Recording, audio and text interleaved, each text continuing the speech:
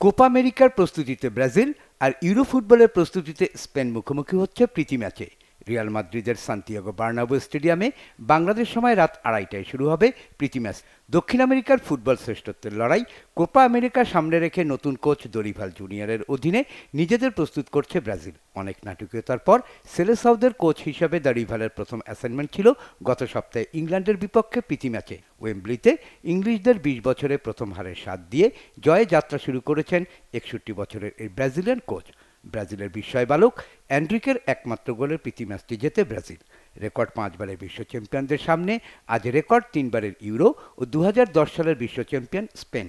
Coach Luis de লাফুয়েন্তের জন্য স্বস্তির খবর, মাঝমাঠের প্রাণ রদ্রি পারিবারিক সমস্যা মিটিয়ে এ ম্যাচে ফিরছেন। ব্রাজিলের বিপক্ষে লড়াইকে স্রেফ প্রীতি ম্যাচ হিসেবে দেখতে নারাজ বাষট্টি বছরের এই স্পেনিয়ার্ড কোচ। তার কাছে ম্যাচটি বিশ্বকাপ সেমিফাইনালের মতো। ব্রাজিলের বিপক্ষে এ পর্যন্ত নয়বারের দেখায় স্পেনের জয় কেবল দুটিতে। সবশেষটা উনিশশো নব্বই সালে।